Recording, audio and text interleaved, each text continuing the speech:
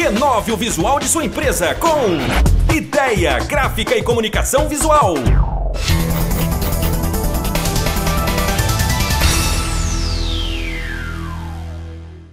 Como é que a senhora, a senhora é de uma região que é duramente atingida por essa possível demarcação. Como é que a senhora avalia esse processo todo aí na sua região?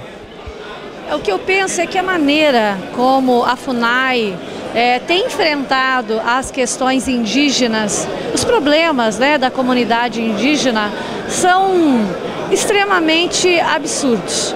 Primeiro, acredito que a FUNAI não pode ter o direito de chegar numa propriedade aonde é titulada, onde tem o seu título, foi comprada, foi paga e foi titulada essa terra, chegar, adentrar a essas propriedades sem que o proprietário saiba é, dessa atitude e depois estabelecer e fazer aí laudos extremamente viciados, é, sem que o proprietário nem saiba o que ocorreu dentro da sua propriedade. Acho que isso é uma afronta à nossa Constituição Federal. Não somos contra índios, os produtores não são contra índios, bem pelo contrário. Nós defendemos, sim, uma reforma agrária indígena. Ou seja, que o índio também possa ter a sua terra, mas não podemos tirar as terras de forma a infringir um direito um direito adquirido na Constituição Federal, um direito adquirido de propriedade, onde esses proprietários compraram, pagaram as suas terras e que estão lá mais de 50, 60 anos é, cuidando dessa terra, produzindo para o Estado, produzindo para o Brasil, produzindo o alimento, produzindo a carne que vai à mesa do brasileiro. Você acha possível conciliar essas duas coisas? Quer dizer, oferecer terra para o índio e sem tirar do, de quem já está nela, de quem é titulado? Olha, tem um levantamento, é, inclusive foi feito pela Acrisul, é, de alguns proprietários que querem vender as suas terras, porque também não aguentam mais esse tipo de conflito, essa insegurança jurídica em suas terras, em suas propriedades.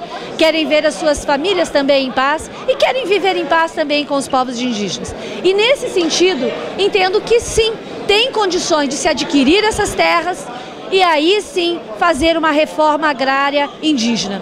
Por que reforma agrária? Porque também nós temos que dar a terra para o índio, mas também dar condições para que esse índio produza, para que esse índio realmente seja integrado ao meio da civilização. Hoje nós já temos indígenas, professores, advogados, enfim, é, vereadores participando hoje do mundo civilizado. E por que não? Então fazermos uma reforma agrária, não tomando do produtor essa terra. Porque quando diz, ah, mas o Brasil é do índio. Se o Brasil é do índio, então nós temos que começar entregando a presidência da República ao índio. Nós temos que entregar a Bahia lá, aonde tudo iniciou aos índios. Não é por aí. E o índio, que é nosso irmão, que, que é um cidadão brasileiro, ele quer o direito de ter uma saúde digna, ele quer ter o direito de ter uma educação de qualidade, ele quer ter o direito de oportunidades. E para isso, uma reforma agrária decente, respeitando o direito do proprietário, respeitando a classe produtora e fazendo do indígena também um produtor para o nosso Estado, adquirindo essas terras, eu acredito que essa seja a saída. E não como a FUNAI vem fazendo, vem agindo, entrando nas propriedades alheias sem avisar os donos. É a mesma coisa que entrar na sua casa, na minha, e depois vir com um laudo dizendo que a casa não é minha. Então, é, essas, essas questões hoje estão lá no campo. Mas, se nós também não tomarmos, não tomarmos atento e não trazermos os índios, os índios para discussão os índios hoje têm capacidade de falar por eles. Não precisa que a FUNAI venha falar pelos índios.